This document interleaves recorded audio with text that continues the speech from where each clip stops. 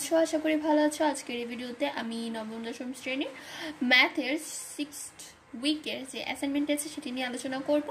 তো আজকে আমি সৃজনশীলের যে দুটি দুটি সৃজনশীল আছে তোমাদের এই সপ্তাহে, সৃজনশীল এক, সৃজনশীল দুই, তো আমি তোমাদের এই দুটো সৃজনশীল করে দেব।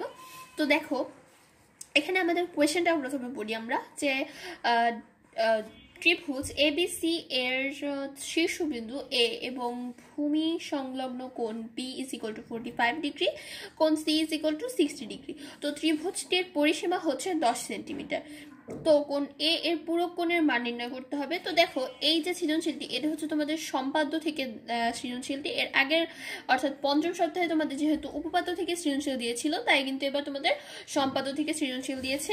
তো দেখো, আমরা এখন শুরু করি। তো আমাদের কতে কি বলেছে দেখো? কোন এ এর পুরো কোণের মান নির্ণয় করতে বলেছে। তো দেখো, আমাদের সেখানে বলা ছিল যে এবিসি এর শীর্ষ বিন্দু, অর্থাৎ এবিসি একটি ত্রিভুজ। তো এ বিসি আমাদের এ হচ্ছে শীর্ষবিন্দু তাহলে আমরা এটাকে এখানে রাখলাম এবং বিসি রাখলাম। এখন কোন বি হচ্ছে আমাদের ফোরটি ফাইভ ডিগ্রি আর সি হচ্ছে সিক্সটি ডিগ্রি। তো আমরা করলাম। করার পরে দেখো এখানে আমাদের এ এর পুরো কোণ বের করতে বলেছে। তো আমাদের এ এর পুরো কোণ বের করার আগে কিন্তু এটা কত ডিগ্রি কোণ সেটা আমাদের জানতে হবে। তো এর কোণেটা আমরা যদি বের করতে চাই, তাহলে হচ্ছে এটা সব ত্রিভুজেরই তিন কোণের সমষ্টি একশো আশি ডিগ্রি। তো দেখো তিনশো আশি একশো আশি ডিগ্রি মাইনাস হচ্ছে আমাদের এই দুটোকে যোগ করলে যেটা আসবে সেটা অর্থাৎ ফোরটি ফাইভ প্লাস সিক্সটি তো তোমরা ওয়ান এইটি থেকে ফোরটি ফাইভ প্লাস সিক্সটি যদি মাইনাস করো, তাহলে তোমাদের আলটিমেটলি অ্যান্সার আসবে সেভেন্টি ফাইভ ডিগ্রি তো এখন আমাদের পুরোকোণ বের করতে হবে, অর্থাৎ এ এর পুরোকোণ তো দেখো পুরোকোণ কি? ধরো আমরা এখান থেকে এটাকে বর্ধিত করলাম। বর্ধিত করার পরে যদি এটা আমাদের একটি সরলরেখা হয়, তাহলে এখান থেকে আমরা একটা নাইনটি ডিগ্রির জন্য একটা দাগ দিলাম। তো এতটুকু হচ্ছে আমাদের নাইনটি ডিগ্রি তো আমাদের দেখতে হবে যে নাইনটি ডিগ্রি থেকে এ মানে নাইনটি ডিগ্রি হতে এ কোনটার কতটুকু বাকি আছে? অর্থাৎ নাইনটি ডিগ্রি মাইনাস আমরা যদি এ কোনটা করে দিই, তাহলে কিন্তু আমরা এ এর পুরো কোনটা পেয়ে যাব।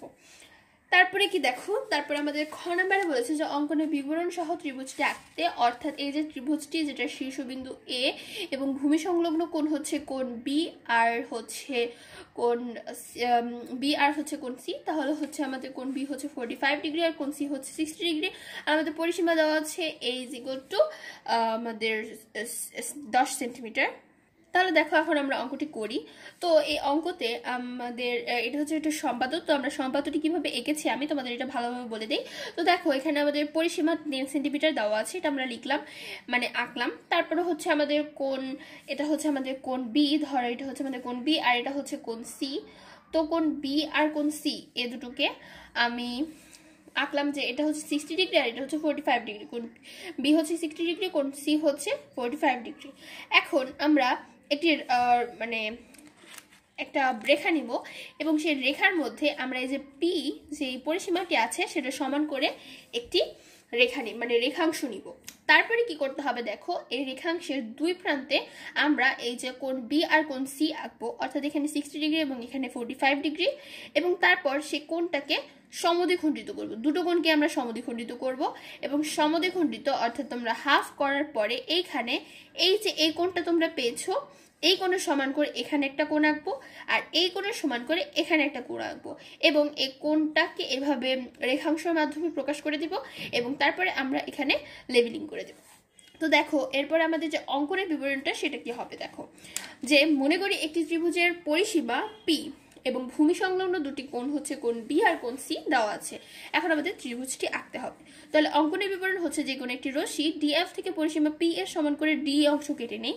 আমি যা বললাম, একটি রেখাংশ মানে রেখা নেব, তার থেকে আমরা ডিই রেখাংশ কেটে নেব।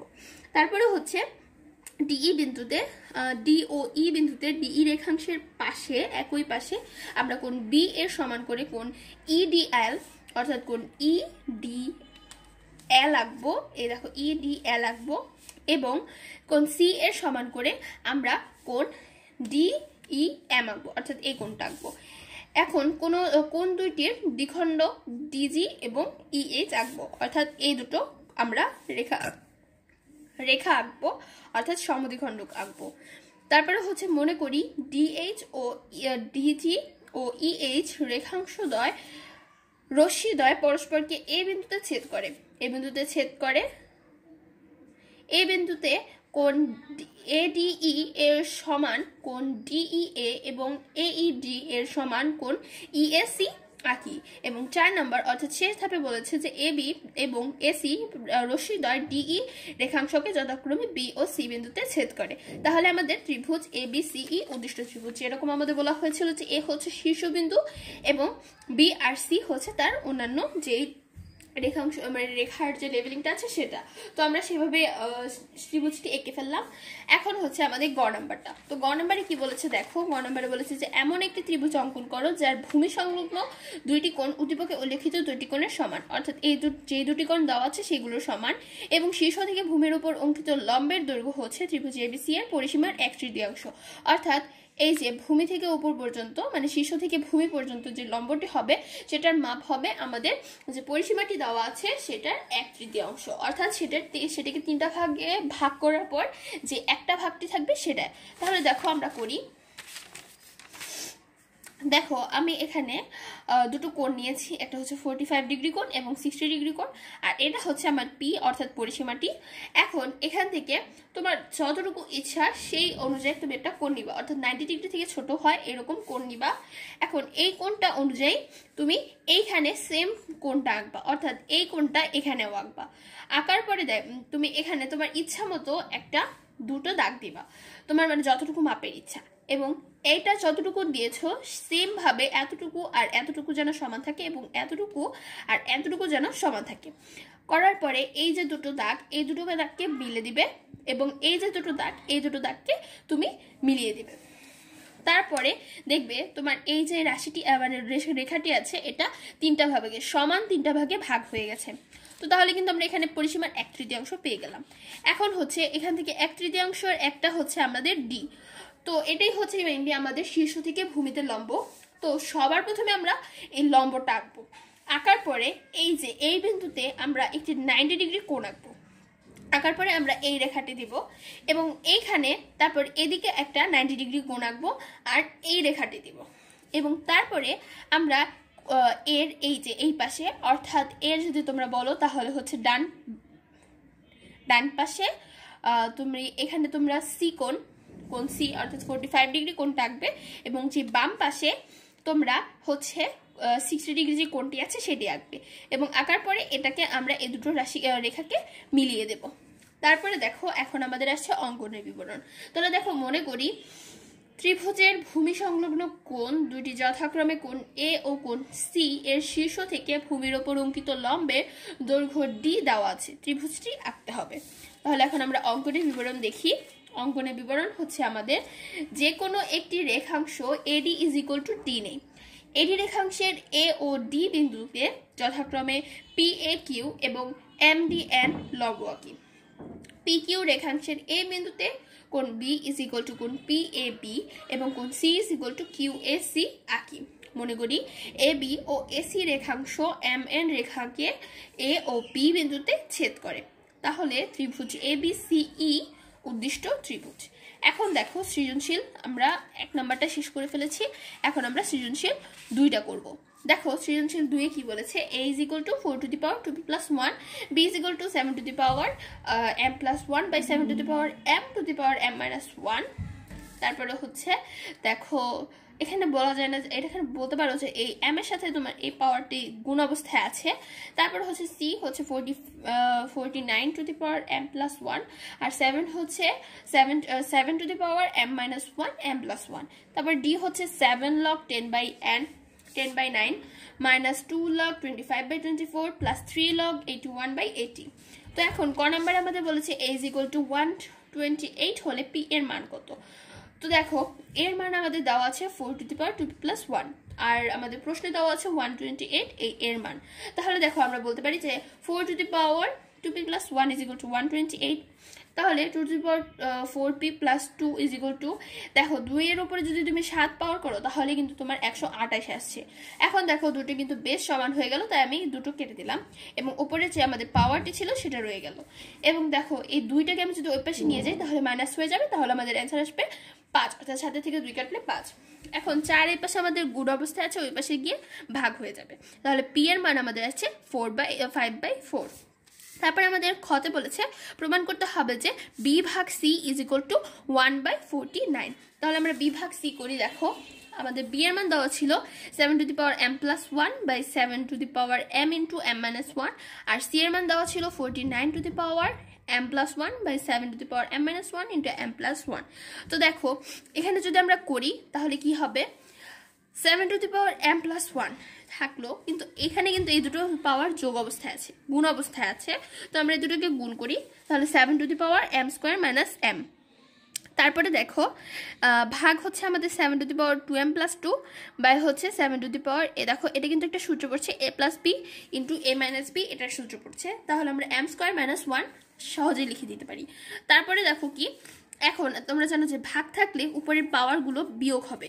তাহলে আমি বিয়োগ করি যে এম প্লাস ওয়ান মাইনাস হচ্ছে এম স্কোয়ার আর মাইনাসে মাইনাসে হচ্ছে প্লাস এম ভাগ এটার ক্ষেত্রে আমরা সেম করেছি, তাহলে হচ্ছে আমাদের seven to the power two M plus two minus M plus one এখন আমরা দুটোর মধ্যে ক্যালকুলেশন করব, তাহলে আমাদের মানে কাটাকাটি করার পরে থাকবে seven to the power minus M square plus two M plus one আর ভাগ হচ্ছে আমাদের seven minus M square seven to the power minus M square plus two M plus three এখন এখানেও কিন্তু ভাগ আছে, তার মানে কি? উপরের সবগুলো পাওয়ার মাইনাস হবে।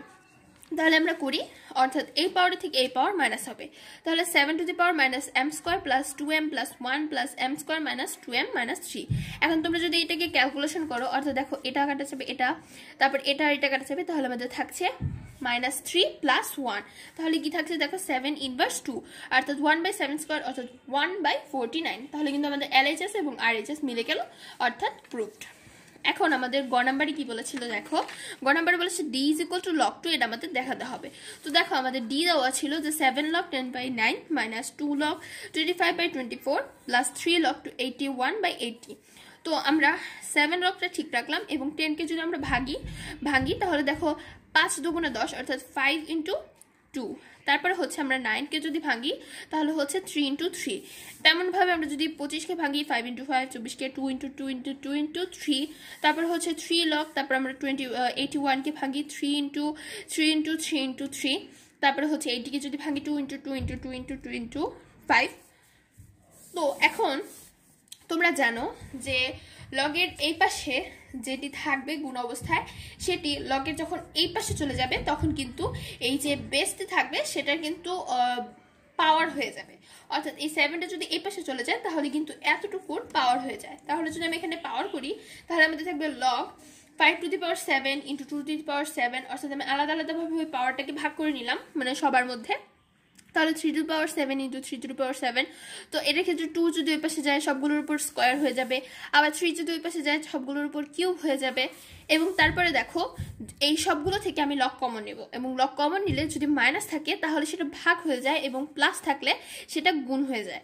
অর্থাৎ মানে যখন তুমি এটাকে কমন নিয়ে ফেলবে, তখন ভিতরে যে বেসগুলো থাকবে সেগুলো। তাহলে দেখো, এটা ঠিকঠাক আছে। আর এখানে কিন্তু ভাগ এটা হয়ে যেত। এখন আমি একেবারে গুণে নিয়ে গেলাম এবং গুণে নিলে তোমরা জানো ভাগ থেকে গুণ করতে গেলে কিন্তু উল্টে যায়। অর্থাৎ লব হর হয়ে যায় এবং হর লব হয়ে যায়। তো আমি কিন্তু এটাকেও উল্টে দিয়েছি। অর্থাৎ নিচেরটুকু উপরে চলে গিয়েছে এবং উপরেটা নিচে এসে পড়েছে। এবং তারপরে সবগুলোকে আমি গুণ করে দিয়েছি। তো দেখো, সবগুলোকে গুণ মানে হচ্ছে আমি যদি সবগুলোর পাওয়ারকে যোগ করি, যোগ করার মাধ্যমে যদি একসাথে করি, তাহলে দেখবে যে আমাদের পাঁচ আছে সাতটা, দুই আছে তেরোটা। অর্থাৎ বেসগুলো যদি মানে পাওয়ারগুলো যদি আমি মিলাই, তাহলে সেরকম আসবে।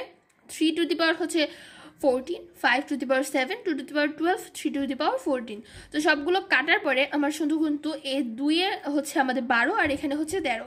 তাহলে কিন্তু একটা টু থেকে যাচ্ছে, তাহলে হচ্ছে আমাদের এখানে লক টু অর্থাৎ আমরা কিন্তু এটা প্রমাণ করে ফেললাম।